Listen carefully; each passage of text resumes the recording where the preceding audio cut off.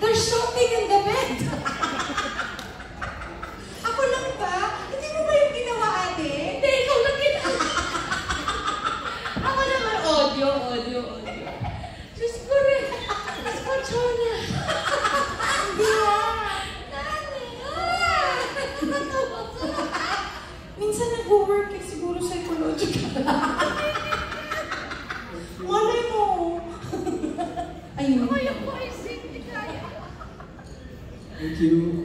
Thank you, Jo. At syempre, ang next pa- pabigay ka. Ay, mega yan. Yes. Wait, pero bi- ayan si Don. Pero bibigay ko muna. Another Thank you so much again. Thank you. Diba? Another day. Forever. Ayan, mega museum ko to. Yung concert mo last time na pinanood namin sa Araneta, masyado siyang emotional eh. Yung parang, oo, yung parang talagang naging reunion ng lahat ng Sharon. Here. Hindi, ay, doon! Mm, sobrang ganun yung naging effect sa lahat. So this time ba, makikita uli namin yung ganung Sharon na kondisyon na kondisyon, yung parang lahat ng fans. Oo naman, kasi may faith ako kay Jesus. Alam mo, demonyo gusto niyang tanggalin yung happiness mo, nakawin yung joy mo, sirain yung kaligayahan mo. My husband was praying for me na last night. We prayed together kasi sabi niya, he knows that you love Regine and that you've been looking forward to this for a long time. Tapos so, he's trying to, kaya nga nagkakasakit-sakit.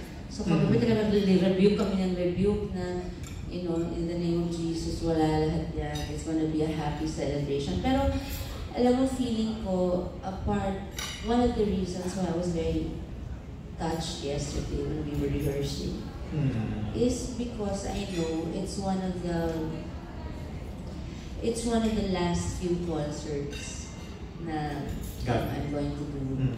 Pwede yung tour-tour ng same show, ah. pero yung um, isa pa sa mga pinaka-special kasi ilang taon kong hinintay na magkasama kami back-to-back on stage. It's the first time I'm doing a back-to-back show with uh, a woman, a singer ng ganyang kagaling na respetado at mahal din ng tao. So it's it's going to be, for me for sure, very emotional. Um, you know, kahit makulit na, no, it's a big factor na kaibigan mo yung kasama mo, tsaka genuine at sincere yung love ko kay Renche. So, parang when you're performing with someone who's special to you, um, and you're sharing the stage, that means talaga, it means almost the world to me. Kasi I'm a performer, I've been singing for 41 years. Ayun nga. I'm, I'm, so, tapos nakikita yung mga Sharonians tsaka Reginians na come together na um, eh, pareho kami Reginians, pareho din silang Sharonians. so, parang family coming together finally. Siguro iba effect sa akin. So, emotional pa rin. And it- it's going to be very special for sure because the songs are beautiful. Mm. Balikan ko rin yung 41 years kasi yung, yung sinasabi mo nga, parang yung mga fans mo naman, hindi pa sila sumusuko sa pag-support sa'yo. Parang Never, never, never. ngayon, parang may feeling sila na bakit ikaw daw. Parang gusto mong sumuko. No, hindi naman suko. Kasi yung pag ginagamit mo yung term na retire, yun ang medyo... Hindi, ano yun doon kasi tao lang, di ba? Mm. Um, nagsimula ako 12 eh. Mm. Um, ang retirement age sa Amerika 65 ba? Mm. Eh yun ang pag nagsimula ka mag-work ng in your 20s, di ba? Ako 12 pa lang. Oo. Tapos 15, walang patumangay mga puyat sa pelikula na dire-diretso may TV show pa ako. Hindi ko alam paano pa nagawa yun. Nagko-concert pa. Nagko-concerts pa. Tapos, um, may weekly show ka na live. Mm. Magsushoot ka ng music video for the opening. Tapos magre-record ka ng limang number. Tapos Sumasayaw ka pa For noon, 11 di ba? years. Sa May production number ka Oo, pa. tapos 12 years yung dalawa ibang show. So all in all, 20. May love life pa yun, ha? May, oo, ang sakit pa ng kalooban ko noon. Kadalasan, pag, pag na-painful ako. Kasama Oo eh. Kasama lahat ng heartaches. Parang karami mo lahat ng Sharonians.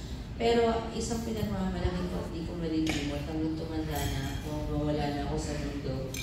Um, hindi nila talaga ako iniwan. ano ba kayo nakakaiyak kayo? Yung kahit sumuko na ako sa sarili ko noon ng katabaan ko, di ba, I was so sad, I felt so low, I posted it. Na parang I lost everything. And I, I wasn't feeling loved na sila, sila yung Oo. Nagbangon sa emotions ko from my family and friends. Sila yung nagpalakas ng loob ko, tsaka yung prayers ko. Siyempre next to God, very grateful. Kayo, kayo mga umiwan sa akin na ilan lang naman yung friends ko sa festival. Ah, ay, penging tissue, ayan kasi. Ayun nga, dapat ngayon ka pa iyakin kasi baka mawalan ka ng boss. Oo nga. Ako kasi paiyakin. Sabi mo naman ni Rachel, text niya after asal. Bawal ate, umiyak. paalala lang. Alam mo, bawal tumawa. Bawal ka umiyak. Pag may nagpaiyak, ubakan. Ayun, so, pasa natin kay Regine yung ano, yung burden. Eh, Kano ikaw ni Jim bilang Sharonian ka, anong nafe-feel mo pag yan si Sharon, ganyan, tapos binabanggit niya yung term lagi na Hindi ko nga masyadong pinapansin. Nakapansin mo ba? Hindi ko pinapansin. Dinidehegma ko siya. Kasi baka mag-rally ako dun sa bahay na kasama na Sharon yan. oh. Hindi ko nga pinapansin. Sabi ko, tulad si ate. Kasi gagawa pa tayo. Oo, wag ka nga. Pilitin namin. Hindi, syempre, you know, she's been in the industry for a long time. I understand. I totally understand that, you know, when you come to this point of your life, uh, you want to give your life naman to your family. Parang yung, alam mo yon kasi ganun din ako eh. Yung parang gusto mo namang mag-concentrate sa family mo na ibigay naman lahat sa family mo.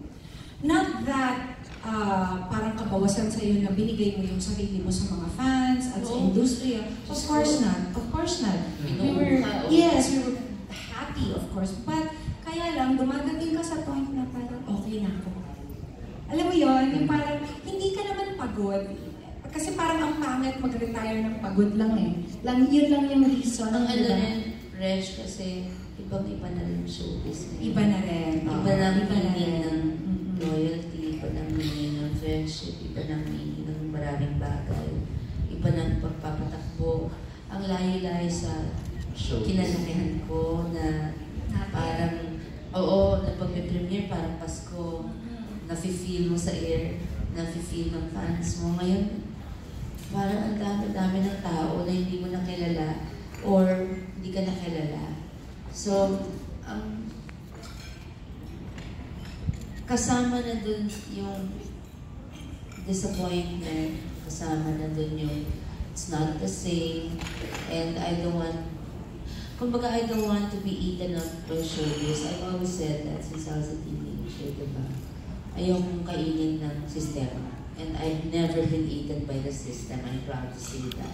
My soul is so intact. So yung iba, nagbago na, nag-iba, hindi ko na alam sa nagkaluluwa, ako nandun pa rin. So while it's there, I will be so alright. Yun ba yung ano, quit while you're ahead? Yeah, that's right. Pero yung parang nakakalungkot, no? Mm. Parang hindi ko naman ma-imagine ang industry na walang isang megastar. Yes, But, know- Nagulat na ako nung sinabi ko mag-retire ako, punong-puno bigla yung kalendaryo ko next year. Oo. Parang, parang mag-usap tayo, mami, may tatanggalin akong ibang bagay. NY, Sandra, bagay. siguro ate, ano, siguro ate, paminsan-minsan may recording. Oo. Meron siguro. So, Paminsan-minsan nalawa concert. kasi ako, dapat ang target ko two years from now, ayan na. Oo. Um, yung next year kung nangyari, now pa lang, Your book may tatlong local films, may dalawang films abroad, may dalawang... Wow. Yun nga, eh, tapos may tour tayo. Passers-by ako dun sa mga movies na yun. Tapos yes, ah, the official cameo girls. So mag yun nga, magpa- Tapos may isa pang concert with someone else. Pero tsaka na yun. Mm. Si Reg din po rin yan. So, Oo. parang hindi ko na po kakayanan ng dibdib ko lahat ng... Pero, ang hirap kumindi kasi they're all special projects. Tsaka hindi mo pa nagagawa ang magpa-sexy, di ba? Yun ang promise mo Ang sa tagal lahat lang hindi eh. ako kita ng mga fans ko na payat sa screen. Oo. So, excited naman ako. Parang, parang maging sino ko man na yung shoot. Oo nga. Dream mo din ba yun, ate? maging Bold Star? Kasi ako dream ko yun. Matagal na. Oo, lagi sinasabi ni Mega yung gusto niya maging Matagal Bold na. Star. Hindi ako napagbigyan. Ayaw ni Lord. Kasi kung gano'n ang kat... Kung lahat binigay sa akin ni Lord, araw-araw, kahit mag-grocery nakatupis ako, nakakahiya na na. Kaya wag na. Ako rin Okay na. Star, ultimate dream. Diba? Manager mo si Ogie. In a Christian, a Christian way.